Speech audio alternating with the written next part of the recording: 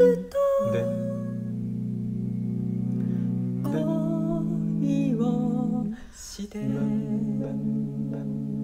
いた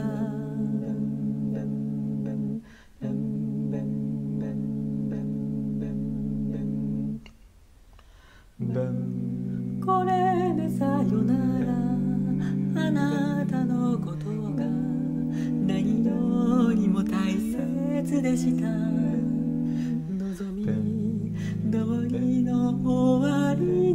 じゃなかった。あなたは。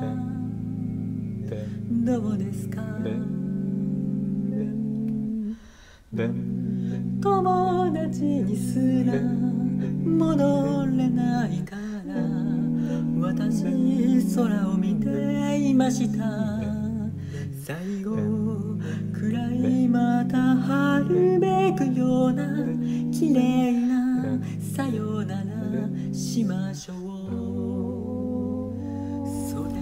れはいつもやら疲れたエデルワイス黒ずみ出す耳に飾りこんなつまらない映画などもうおしまいなのにエンドロールの途中で悲しくなったねえこの思いは何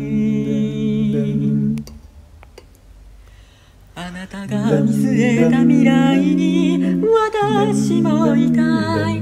鼻先が触れるくらいにあなたを見つめたい。